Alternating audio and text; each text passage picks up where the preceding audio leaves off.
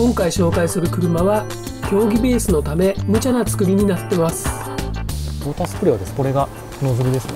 ここから霧状にバーッとそうですね。すごい出てくる。ドアの開け閉めする感じももうペナペナでですね。あ本当だ。これなんか盗まれたんですか？何もないんじゃないですか？これも軽量化が目的で何もないです。えーこの車はですね平成15年式のスバルインプレッサ WRX STI スペック C リミテッドになります。スペック C っていうのは、まあ、競技ベースの軽量化仕様みたいな感じですか？そうですね。あの軽量化とあとは冷却性能とかですね。そそういったところを、えーと装備した車になります。インプレッサの、えー STI バージョはい。ンになると正面から見た時の見た目で分かるのはこのエアスクープですよね。これがそうですね。STI はすごく大きくなるはい。ということですよね。そうです。はい、あとはこの車はアップライド C という、えー、マイチェンが行われた後のモデルなんでヘッドライトの形状が違うと。はい。はい。他にフロントから見て分かるポイントありますか？そうですね。えっ、とホーンが、えーまずスペシーはシングルホーンになってまして、えー普通はいくつあるんですか、だえー、2つダブルホーンになるんですけども、はい。これはおそらく軽量化で、えーシングルホーンになってます。あはい。ー渋いとこ減らしてますね。そうですね。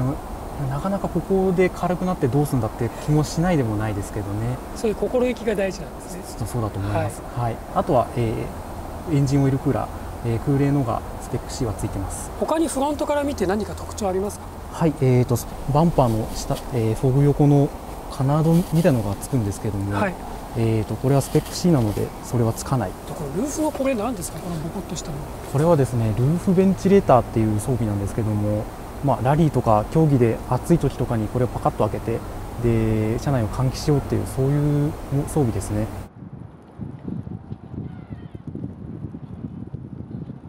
前後のキャリパーが金色のブレンボのブレーキそうですが入ってますね。はい。これはスペシだけですか？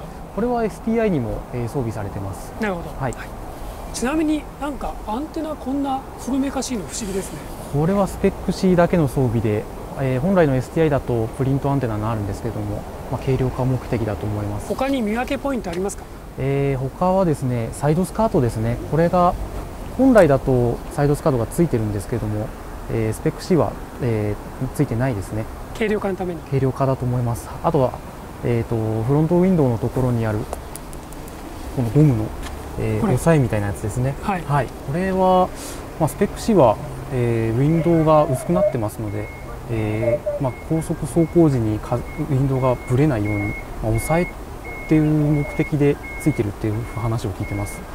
ウィンドウが薄くなってるってさらりと言いましたが、はい。軽量化のためにウィンドウが薄い。そうです。軽量化目的で、えーもうフロントとサイドとリアと全部薄くなってます。全部薄いんですね。全部です。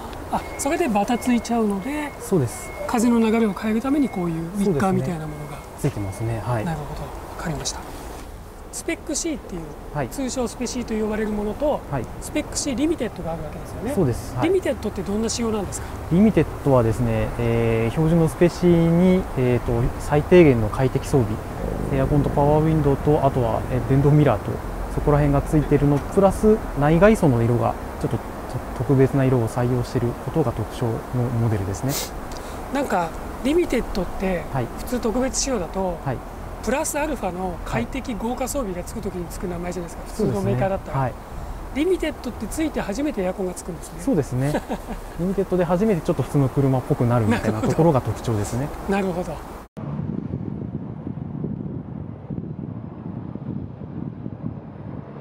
なんかガソリンタンクもまた違いがあるんですか？そうですね、えー、と標準の STI は確か65リットルぐらいの容量が入っての燃料タンクなんですけれどもスペック C は軽量化が目的で50リッターの燃料タンクになってます、15リッター減らしたらはい。重量軽くなるんですかね。まあ、あと多分旋回チャンバーっつってそのサーキットとかでこう横 G がかかった時にその偏って燃料が吸えない時とかがあるんですけれどもそれに対策もあるんじゃないかな。そういう対策も施されたスペシャルな。そうですそうですなるほど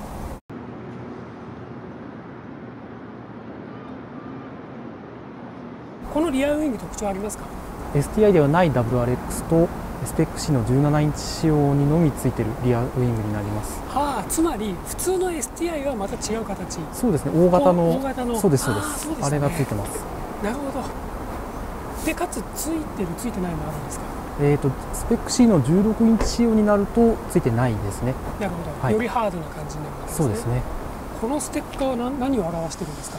ステアリングの右足が、えークイックだよっていうのを示しているステッカーです。15対1が STI の標準だと思うんですけどこれは13対1になってます。わかりました。基本的に STI になった時点ではい。280馬力40.2キロのトルクになるわけですよね、はいその先スペシーって何が違うんですえーとですねタービンが違いますね。タービンの実動機がメタルからボールベアリングになってます他に、えー、と見た目で違うところはあるんですか？そうですね。まずはバッテリーが小さくなってます。これも軽量化で小さいのが、まあ、普通車と同じぐらいのサイズがついてます。小さくしてもようやく普通車と同じぐらいのサイズなんですか？そうですね。スバルはもともと電車寒冷地仕様みたいな感じになってますので。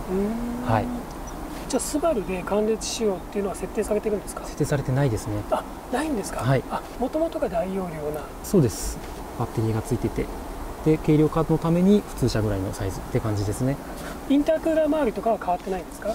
でウォータースプレーがついてまして。ウォータースプレーどこですか？ウォータースプレーはですねここれがノズルですね。これ？はい。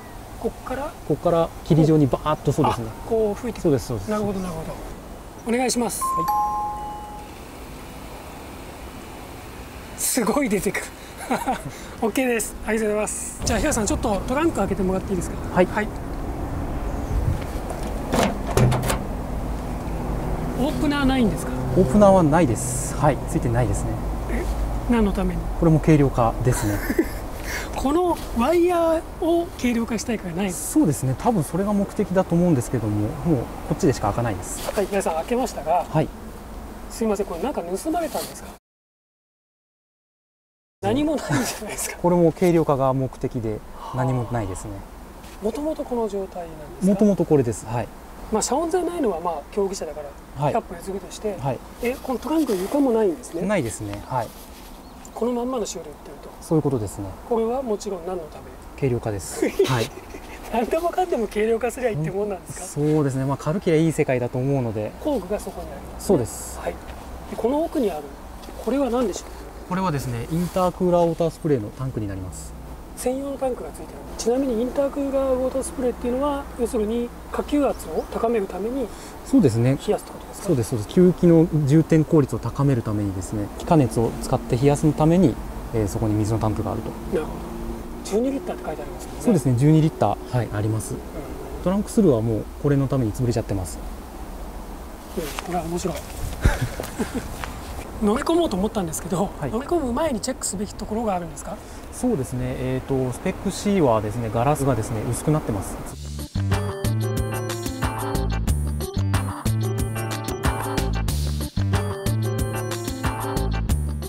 するとどんな違いがあるんですか？ドアの開け閉めする感じももうペナッペナでですねちょっと軽自動車のような感じになってますね。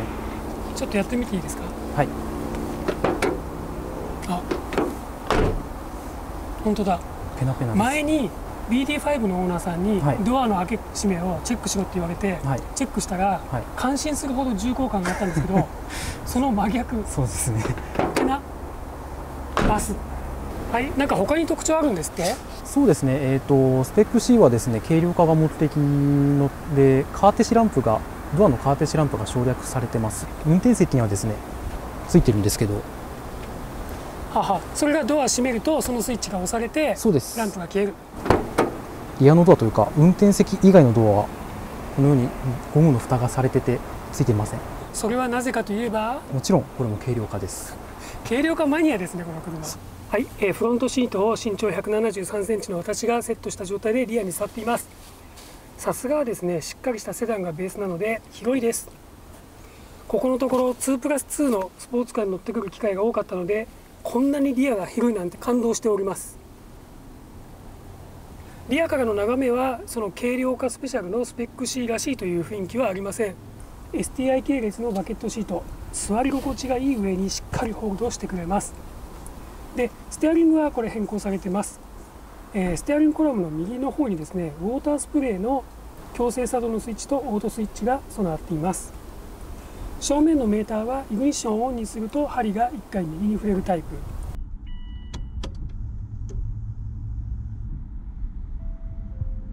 トランスミッションは6速のマニュアルになります。またこのセンターのコンソールの部分にはドライバーズコントロールセンターデフのオートとマニュアルの切り替えスイッチがここにあります。でこれをマニュアルにした際には前後のロック率配分はこのセンターのダイヤルで行います。じゃあスペ Cの特徴を教えてください。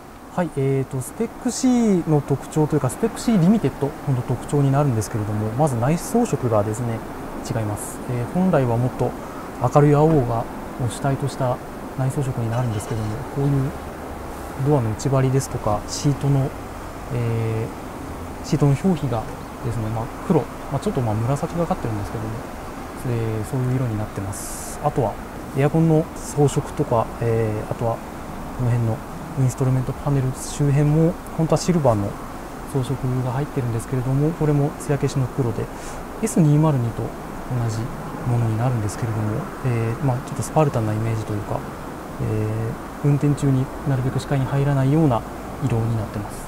あとは、えー、グローボックスもですね車検証を指すための、えトレーが、えこれも軽量化のが目的だとは思うんですけれどもこれも省略されてます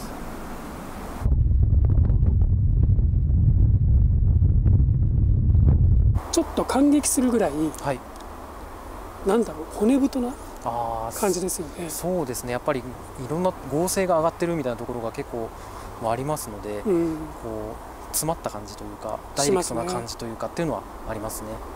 正直ドアのパナパナ音あったじゃないですか、はい、バーンみたいな、はい、だから僕乗っても軽くて軽すぎて、はい、ギシギシガタガタするのかなって思ってたんです、はい、そしたら乗ったそんなことなくてそうですね。キューみたいな。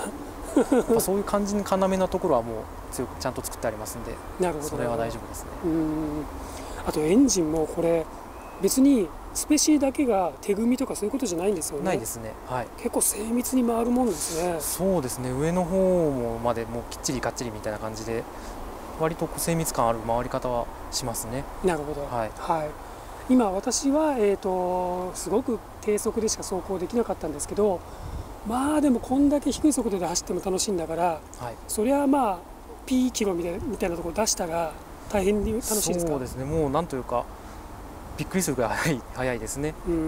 まあ、ねタービンが違うので、まあ、ちょっとこうレスポンスも上がっているのであのターボドッカンターボっていうわけではなくて思ったよりもあのスッとこう、ま、吹けてくれる乗りやすい車ですね。2003年式だと今から15年前ですよね。そうですね。15年前でこれを達成してたら、はい、もうこれで十分って感じもしますよね。いや全くそう思いますね。で 特にボディサイズもちょうどいい感じですから本当にこれで特にこれ以上何かっていうのはないですね。そうですね